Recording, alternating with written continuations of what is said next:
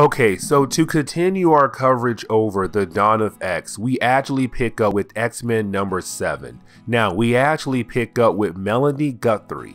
Now, Melanie Guthrie is the sister to Sam Guthrie, and Sam Guthrie is Cannonball. Now, with that being said, Melanie Guthrie is very important for this storyline.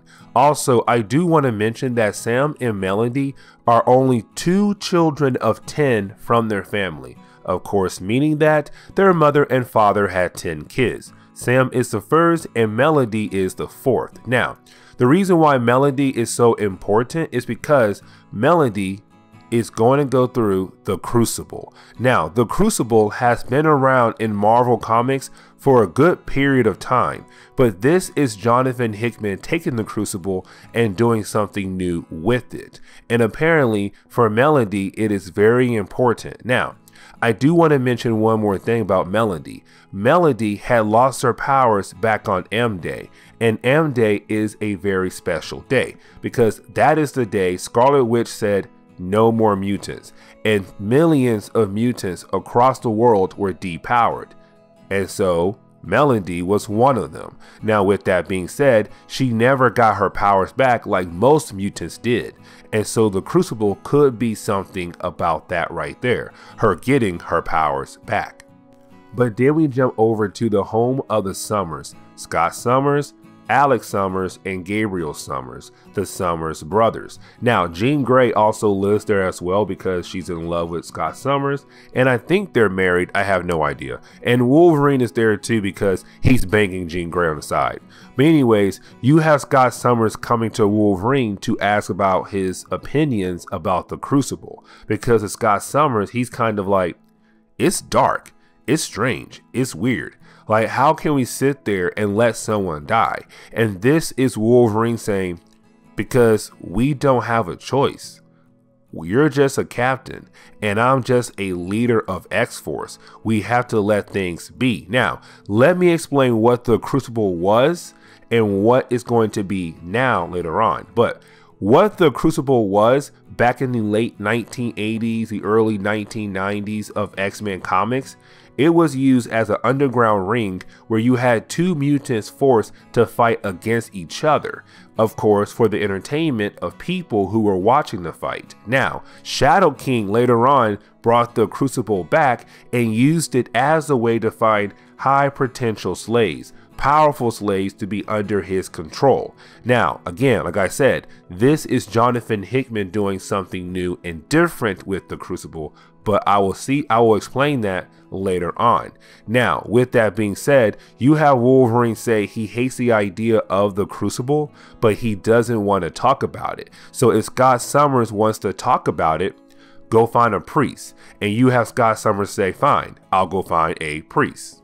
And of course, that priest is Nightcrawler. Now, I do want to mention one thing. Nightcrawler is very, very religious. So if you're new to Marvel Comics and you never read X-Men comics, that is something you should know. That Nightcrawler is very religious. Now, he is very, very religious in the ultimate Marvel universe. And matter of fact, it makes him go crazy. And we covered those books. And you should watch the entire Ultimate X Men videos because honestly, to see Nightcrawler change from the beginning to the end was crazy. But in this universe, he's just religious, but he knows what he must do to help the X Men out. Now, with that being said, this is Scott Summers asking Nightcrawler how do you feel about the Crucible? And Nightcrawler says, I hate it because now we have to sit there and watch a mutant die. And you're like, wait, somebody is actually going to die on this island, Krakoa's nation.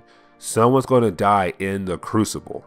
Now, this is the moment we see Scott Summers and Nightcrawler watching over Exodus. Now, Exodus is an old character I do not want to dive into in this video because honestly, he has a lot of history. He's a cool character, a very powerful character, but I don't want to spend my time explaining who he is in this video. But I will explain what he's doing right now because you have Exodus talking to a group of children about the Crucible because this is the first one ever on Krakoa Island. And so it's big, it's huge. And so you have children wondering what is the Crucible? And that is the moment you have Exodus explain that the Crucible is a way for a mutant, a depower mutant, to die but come back powered. Because remember what I said earlier Melanie Guthrie was a mutant, but she was depowered by the Scarlet Witch back on M Day, where of course she said no more mutants.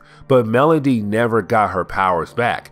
And so it seems like what's going to happen right now is that she is going to be killed in the Crucible as a way to come back to life as a mutant once again to get her powers back. And that is why it's so big and huge because you're basically being killed. Now remember, when it comes to Krakoa, they have the ability to bring someone back to life with the five. Five mutants who have the ability to bring someone back to life. And so that right there is what's going to happen. Melody is going to die in the crucible, but of course, she's going to come back as a mutant no longer depowered. But there is a tad bit more to the Crucible. And so this is the moment you have Scott Summers and Nightcrawler actually arrive at the stadium, the arena where the Crucible is going to be at, where Melody must fight for her life. Or really, she must fight to die. Now, this right here is very huge because Melody is going to fight against Apocalypse.